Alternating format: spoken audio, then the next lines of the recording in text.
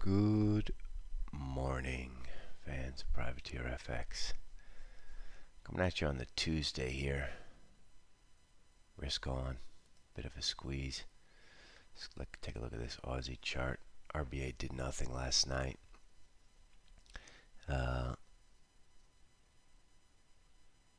RBA says if lifting of restrictions delayed or needed to be reimposed, outcomes could be even more challenging. They were pretty sanguine. Um, didn't mean a whole lot. Uh, Aussie went higher. You can see we've been sort of bouncing on up here. We do believe this is a sell. You could you could probably do these this uh, fib retracement from this to this.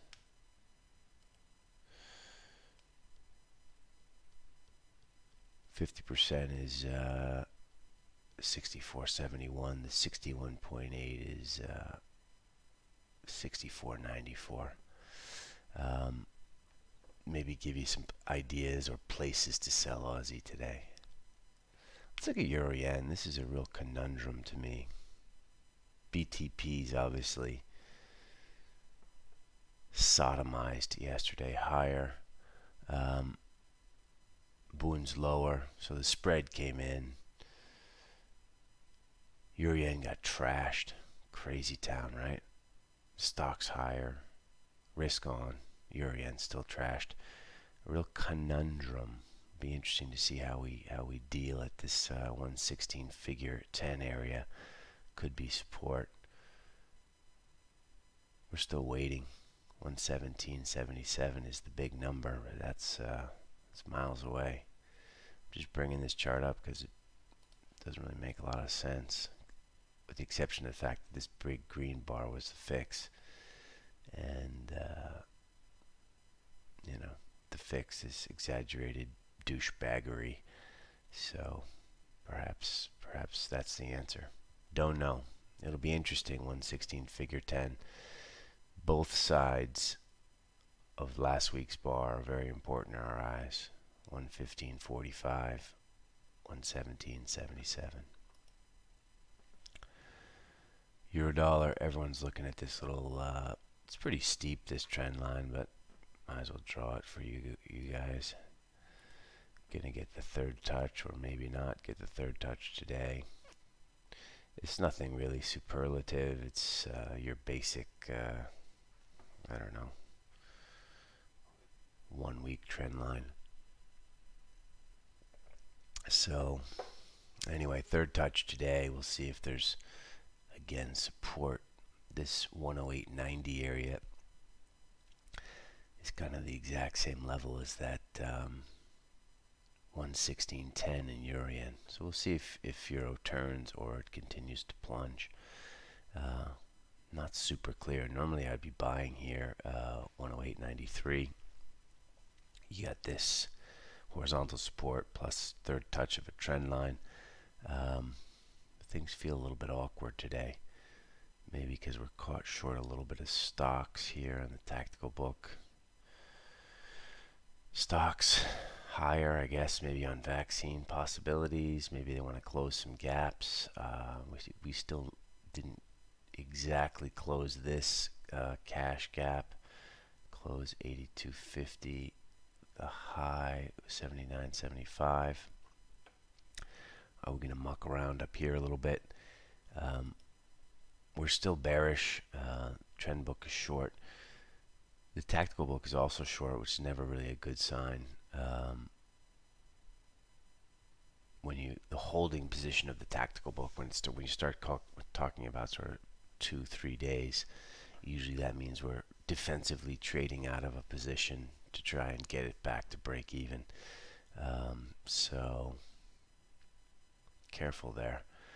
Um, stocks look pretty big for now. So if you're going to add, be patient. What else? Cable not doing much. Uh, we saw buyers at 124 the figure yesterday. I'm sure there'll be sellers at 125 today. Dollar Swiss Uh, we did get paid at 55 yesterday. We did buy 41s and tried to resell uh, 55s. Uh, so we're a little bit short. Uh, not a lot. The real tactical point right hip here is this sort of 90-10 area. So this is where we'll be tactically selling dollar Swiss today. Not to be confused with the trend book, which is just short dollar Swiss. Um, oftentimes I'll be trading the same position, um, but the parameters are just different. Let's pull up Bitcoin just because I like uh, to pour hot acid into my eyes. We got cleaned out like a lot of people on this move down. We obviously love Bitcoin higher, but it's reminding us of gold. It's fucking hard, right? Um, and on the institutional side of my life, Bitcoin was sort of taken off the table, so um, we don't trade it for the firm. But anyway, we can still look at it and, and uh, we can still own own some of it personally. But it looks pretty big. May 12th, there's going to be another halving of rewards for the miners. If you don't know what that is, Google it. Um, Bitcoin looks pretty robust. Fuck you, Bitcoin. Uh, just want to throw that out there. Uh, Dollar Norway, one of our horses. Crude is cruising. You got to keep your eye on this 10 13 or 10 14 area. Um, core short, Dollar Norway looks fine. Let's take a look at crude 2176. How do you like them apples? As a lot of the uh, newsletters pointed out, gold has, has doubled uh, from these $10 lows. Now we're almost at 22 bucks. Um, this is the contract high. This is the June contract high. These highs here from the May contract are I, I think less important. And again, technically, I don't think crude is driven by technicals. Um, it's just driven by price and supply and demand. So, um, looks pretty good, right? I mean, we don't, we're not long crude, but looks pretty good. Does that mean Euro Norway is gonna gonna tip? I don't know. We're waiting for 11 which is a huge pivot, which will be this day back in March 13th before the craziness up to 14. Um, that was the low. Uh, once 11 breaks in Euro Norway, I think it's it, it's got some room to go. Um, but intrinsically, I don't really trust this oil move, so got to be careful with that. If you believe in all of this risk on, you got to sell some Bunds today. Um, this doesn't look right. Something's not right. Either stocks are not right or bonds are not right. Uh, bonds remain pretty bid. You can see um, Bunds on the 174 handle. The yield is minus 56 basis points. As you get to minus 70, you can always you can just sell. Uh, you can just be core short tactically every day. Tens uh, just don't bother. There's just too much buying from the Fed at the moment. They've killed volatility. Uh, just leave it alone come to grips with the fact that you're going to miss the first big red bar down in ZN. Get that through your thick skulls now. But once we see that bar, and then we see the story behind it, uh, then we can get involved. So, patience. What are we doing? Not much at the open here.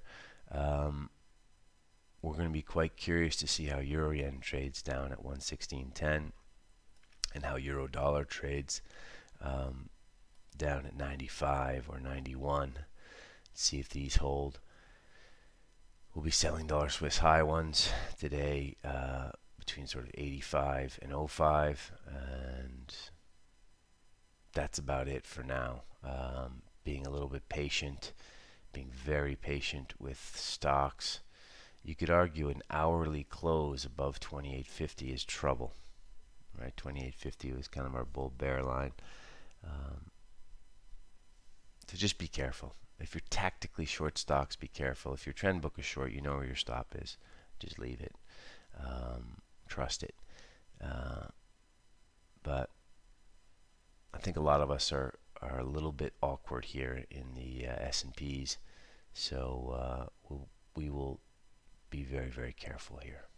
Anyway, that's all I got for you guys today. Uh, good trading ahead. Oh yeah, subscribe, click, clickbait or whatever, whatever they want you to do in this digital world.